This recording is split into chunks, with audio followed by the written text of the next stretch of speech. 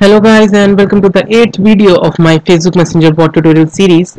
Until now we have created a basic messenger bot which can echo any message that it receives. Also we have successfully deployed our messenger bot on Heroku and now it's time to provide some NLP powers to our messenger bot right NLP means natural language processing so basically we are making a chatbot right? Um, and a chatbot will receive the messages from the user in form of natural text. So my bot needs to understand what the user wants to say right? So for this purpose we need something called natural language processing. And to do that we are going to use wit.ai so wit.ai provides some NLP services and it is currently acquired by Facebook. So and it's free. So let's see how we can use it. So first of all you need to log in with your github or Facebook account. And once you have done that you need to create a wit.ai app okay? So you can click on this plus button right here. And now you can create a, an app. So I'm calling my app as newsbot. Description a newsbot. Language I'm going to use English language only for my bot so it's English. Uh, that doesn't matter. Okay create app. So now in just a few moments my wit.ai app will get created. Yeah so you can see it's newsbot my new app my new wit.ai app has got created. Now in order to use wit.ai you need to understand some terms right? So first term is entity. So entity is some kind of you can say a category that you have created or you can say some relevant piece of information right? Like I say show me news. What are the top headlines of the day? Hey get me some top sports news of the day right? So all these things will boil down to a single entity which I may call news or show news right? So my bot just need to understand that the user wants to get the news. So for that just a single token of word is sufficient right? But the user is saying that in natural text so that is what you need to understand. Okay now how to create an entity? Let's see. So here it is saying that the user says. So what will the user says? What will the user say and what will be the response? Um, so let's say the user says show me sports news. Okay. I haven't created any entity so far. So show me sports news right? So I'm taking it as sports. Create an entity I'm saying it as news type right? And what value will it have? Sports. So I have just created a new entity which is called news type and the entity has a value called sports okay? And I'm going to validate it okay? So uh, let's say I say that show me international news headlines. Right. And add a new entity. No I'm going to use the one I made. News type and what value? Uh, it's a new value called international. Okay so and I'm going to validate it. So what I am doing currently is that I am giving some input or you can say some training data to my wit.ai app to understand that uh, what I want to create. Uh, here you can see. Here is a entity news type and it currently has two values which I just created international and sports right? And uh, let's create one more. Um, show me entertainment news. Ah cool.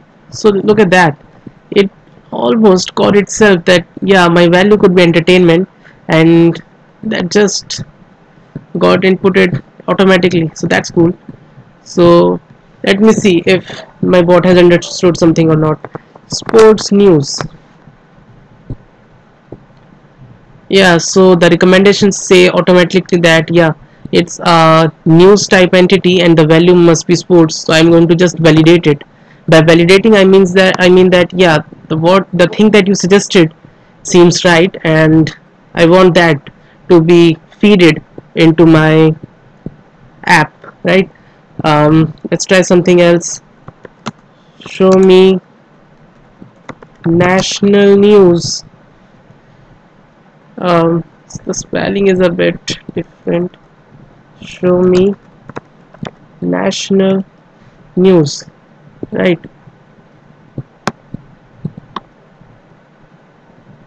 national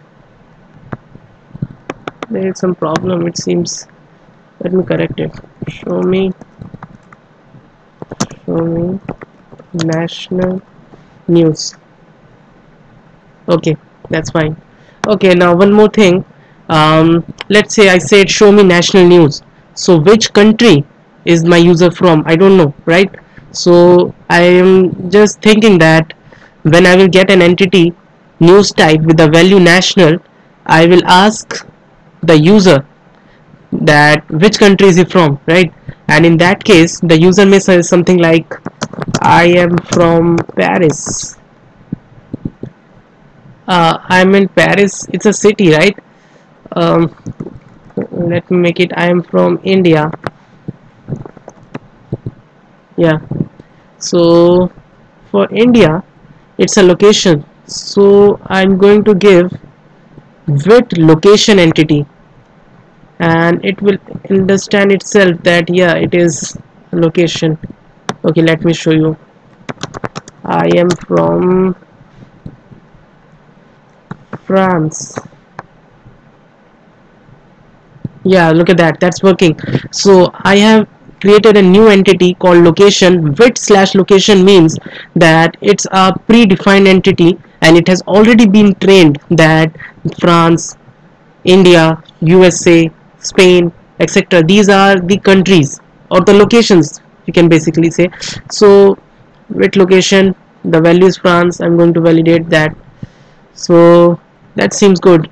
I've trained my model a bit and I think it's time to write some Python code to get to interact with this wit.ai app okay?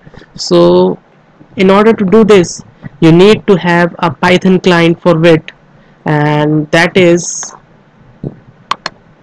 okay let me first install that. My when scripts activate. Okay so you need to install wit module and it is the official python client for the wit.ai api okay?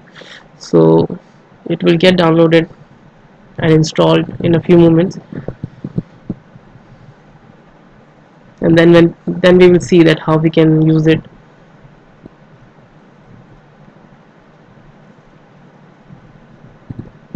Okay? So we have successfully installed wit here and now I'm going to create a new file.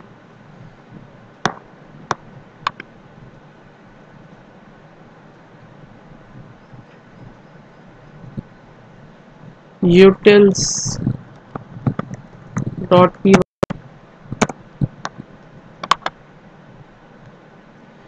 okay and now I'm going to write some code to interact with the wit API from wit import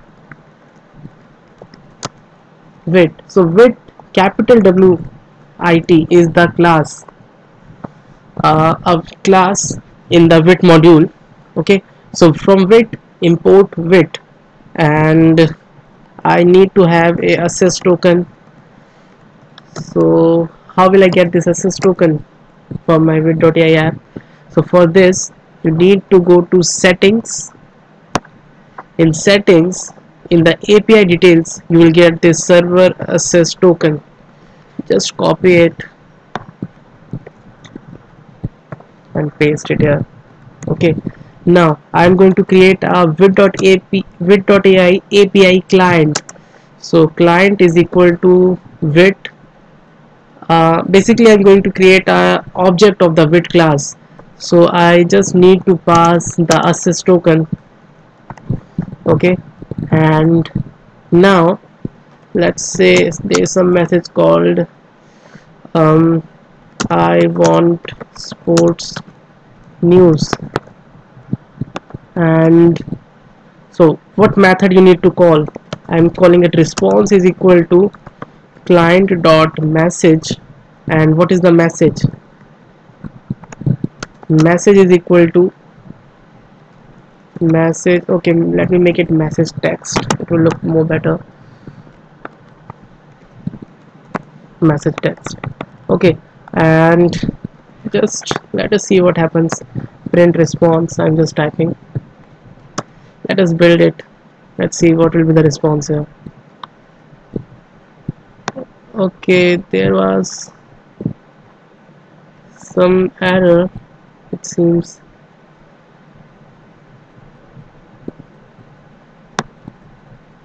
okay so message is